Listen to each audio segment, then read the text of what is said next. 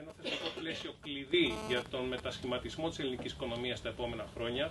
Έχουμε ένα πλεονέκτημα απέναντι στις άλλες χώρες που ξεκινάνε τώρα και αυτές. Με τη χαρά του μαζί μας είναι ο καταλληλότερος να μας μιλήσει για τις ευκαιρίες, το potential ποιο είναι και πώς μπορεί ο καθένας είτε μιλάει. Most of the development is been happening uh, during the last year. The logistics and the conditions uh, of doing it on Rainbow Warrior, this is the way we have. You can uh, use this energy while you are consuming, and in the case you are producing more energy. πολιτών και των συνεργειών είναι ότι υπήρχαν και ε, άνθρωποι, δυνάμεις, οι οποίοι αφιέρωσαν και χρόνο, αφιέρωσαν και κόπο πολύ, προκειμένου να μπορεί να υπάρχει, να υπάρχει η δυνατότητα η δυνατότητα πώλησης αυτής της περίσσια ενέργειας σε μια τιμή που είτε είναι ρυθμιζόμενη από το κράτος, μια σταθερή τιμή δηλαδή,